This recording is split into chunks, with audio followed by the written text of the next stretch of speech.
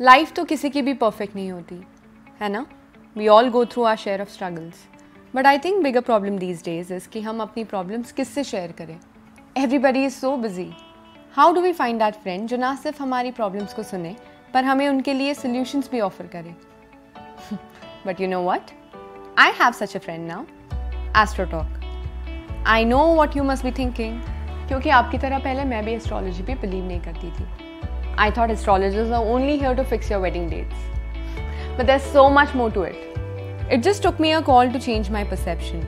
At AstroTalk, astrologers ना सिर्फ आपकी बातों को ध्यान से सुनते हैं but also offer you simple and practical solutions. And within days, I could see the difference, both personally and professionally.